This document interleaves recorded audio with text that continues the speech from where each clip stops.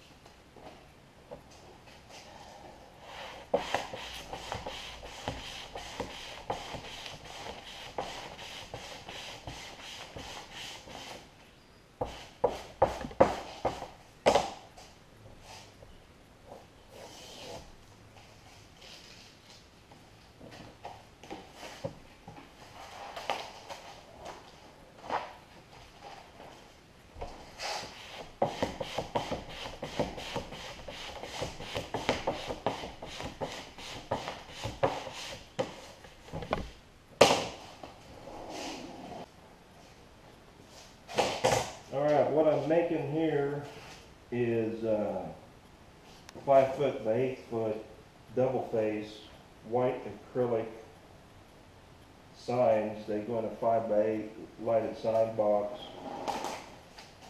So I'm using uh, Oracal 8500 series translucent red. I've always had good luck with Oracal. you'll see, so I'm just pulling the backing off. Gonna lay out this arrow. It's a directional arrow for this business. And, um, and then when you see the whole video put together, you'll see it start to finish, from the fabrication to the installation. So, right now, I'm just finishing up these uh, faces and uh, we'll go from there. Of course, whenever you lay down decal, you never want to touch it down, especially with uh, reflective. Reflective is a real brittle decal that you know, you, I could touch this down accidentally and stand a good chance of pulling it up. But if I touch down reflective, most likely it's gonna split and tear and break and not be able to recover it. So now I'm gonna pull off the pre-mask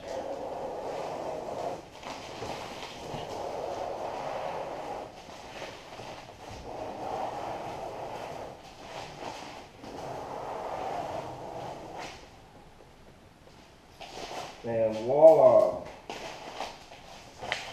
These two faces are done. Just have to clean up those red, red lines on here that I've used to mark it, you know, to lay it out. Otherwise, the face is done. All right, so I'm gonna do the lighted, then you know, the wiring part of this backlit sign. So you've got a ballast. Now I set my ballast, I don't know if you can tell here, but it's maybe a half inch up off the floor of the sign because uh, water can get in here some and I don't want that ballast in any water. And then on the front of the ballast is um, the, the uh, wiring diagrams. Uh, I'm putting in a five lamp backlit sign here so I'll go off of that middle um, diagram. I've already wired this end and what you have uh, the components is you have what's called a race.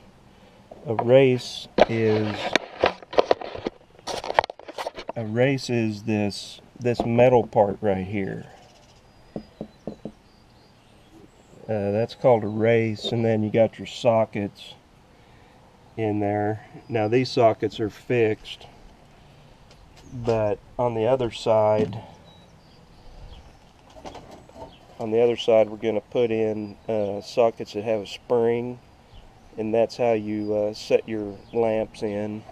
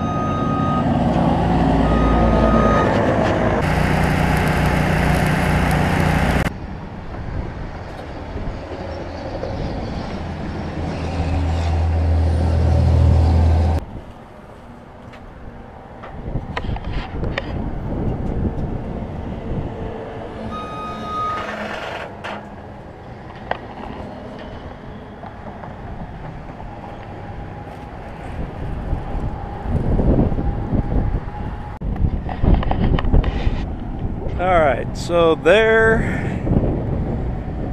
there's the finished product.